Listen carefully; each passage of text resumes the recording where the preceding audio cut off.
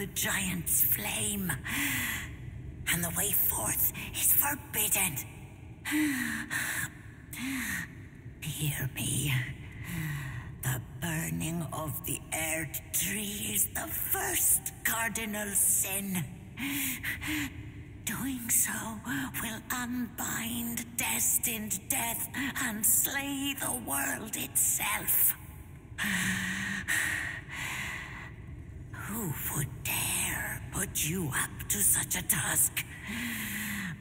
Most certainly not the fingers.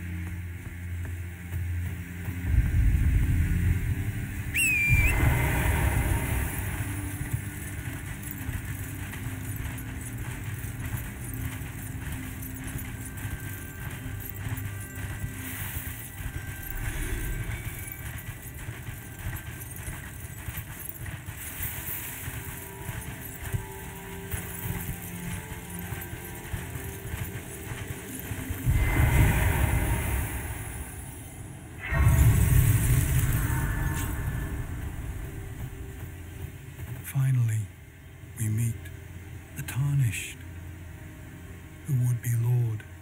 Oh my. Why the long face?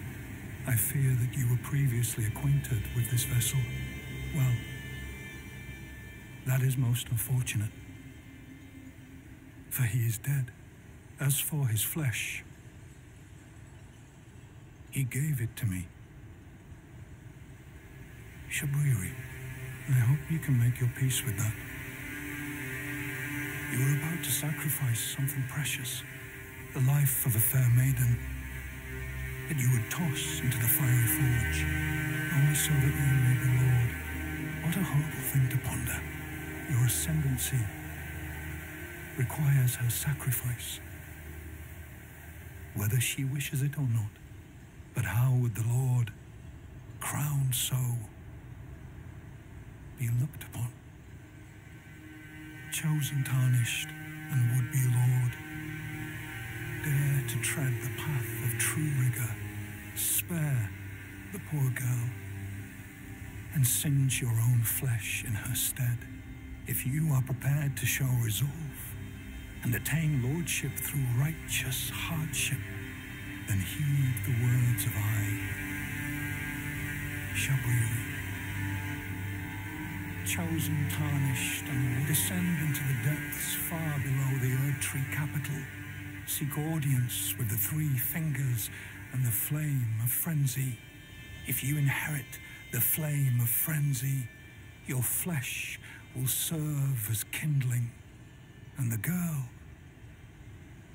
can be spared, setting you on the righteous path of lordship, the path of the Lord of Chaos.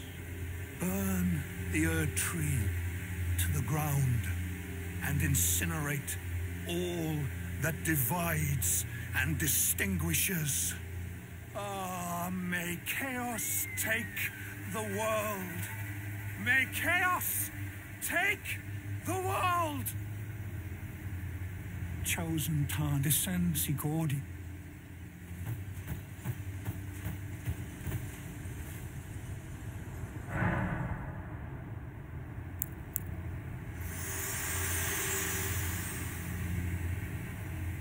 Is something I'd like to say. My purpose was given to me by my mother, but now I act of my own volition. I have set my heart upon the world that I would have, regardless of my mother's designs. I won't allow anyone to speak ill of that, not even you.